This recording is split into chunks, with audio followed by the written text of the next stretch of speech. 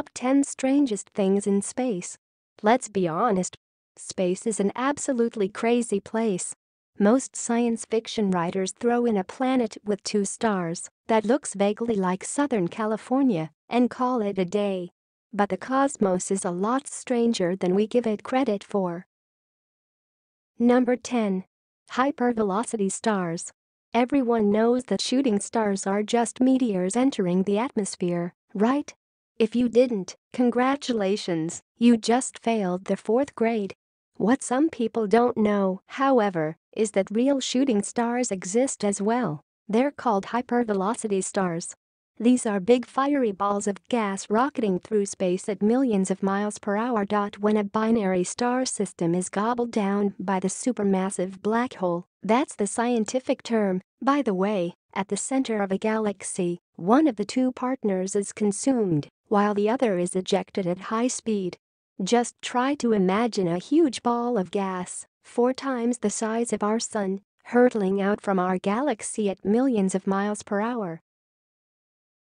Number 9. The Planet from Hell. Gliese 581c wants to kill you. Seriously.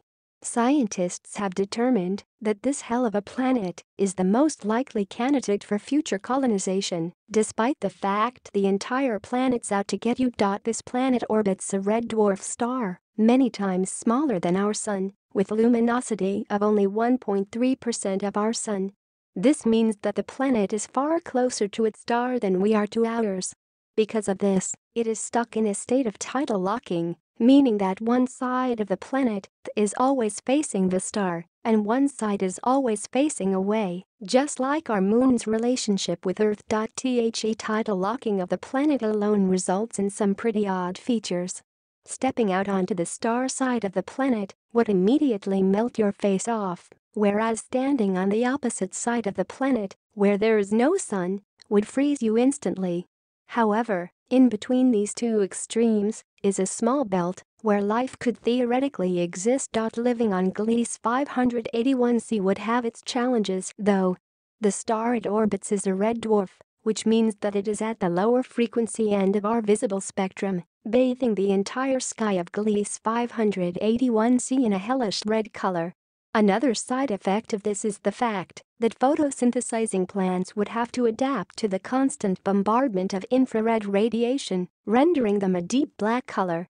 That Greek salad wouldn't seem so appetizing anymore. Number 8. The Castor system, as if one or two giant, fiery balls of gas weren't enough. Here we have the Castor system, as one of the two bright stars from the Gemini constellation in our night sky, it has some serious luminosity. This is because the Castor system isn't one or two, but six stars, all orbiting around a common central mass. Three binary star systems orbit each other here, with two hot and bright A-type stars being stuck in the system, as well as four M-type red dwarfs Altogether, though, these six stars put out roughly 52.4 times more luminosity than that of our Sun. Number 7. Space Raspberries and Rum For the last few years, scientists have been studying a dust cloud near the center of our Milky Way galaxy. If there's a god out there, it seems that he decided to get creative. This dust cloud, named Sagittarius B2, Smells of rum and tastes like raspberries. The gas cloud in question consists largely of ethyl formate, which is known to give raspberries their taste and rum its distinctive smell. This large cloud is said to contain a billion, billion, billion liters of the stuff which would be great if it wasn't rendered undrinkable by pesky particles like propylcyanide. The creation and distribution of these more complex molecules is still a mystery to scientists, however, so we won't be opening up an intergalactic pub anytime soon. Number 6. A planet of burning ice. Do you remember Gliese? That hellhole of a star that we visited earlier? We're heading back to the same solar system for this one.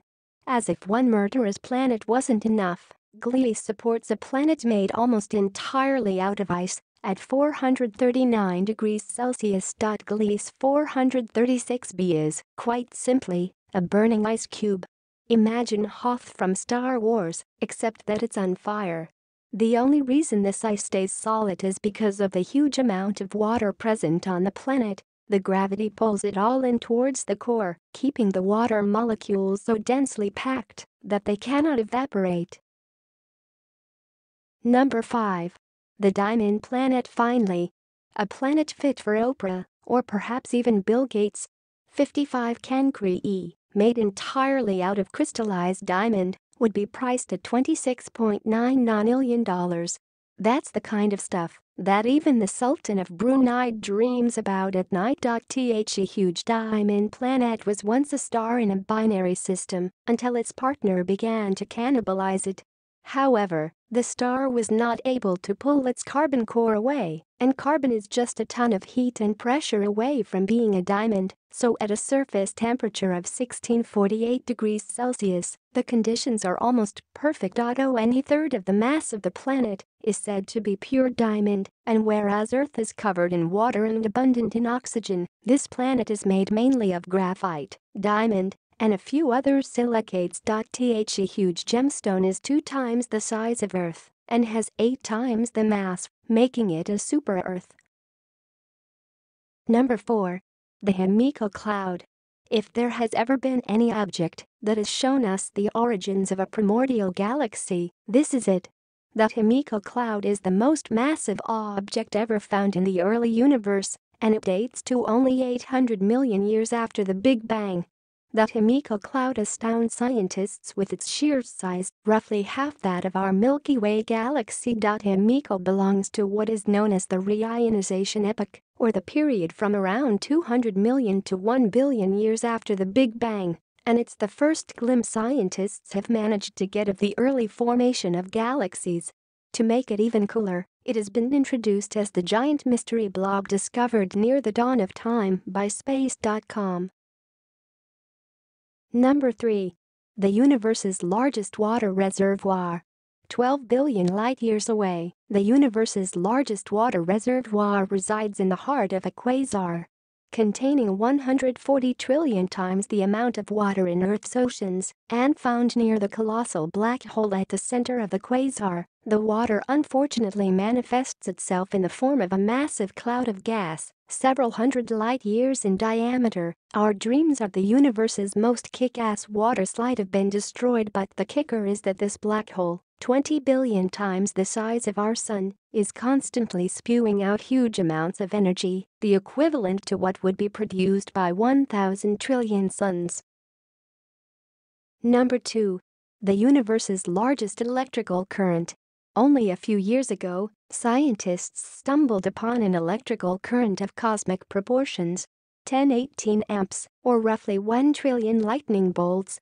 With that kind of power, you could even use that pesky seven-blade electric razor you have lying around the lightning is thought to originate from an enormous black hole in the center of the galaxy, which has a core that is supposedly a huge cosmic jet.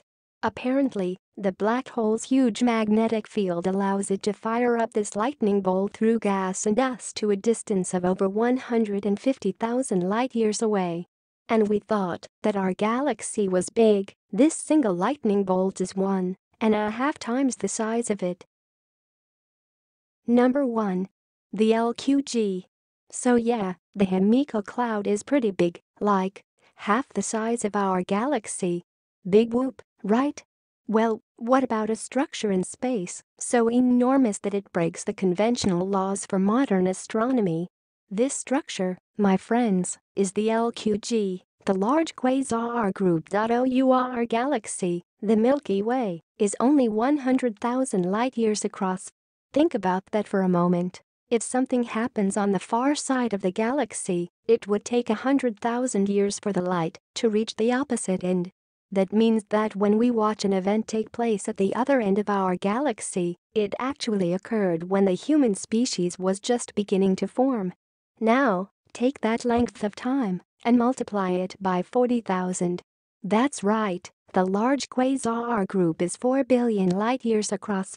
The cluster of 74 quasars actually breaks the rules of standard astrophysics, since the maximum size of any cosmic structure should be only 1.2 billion light-years across.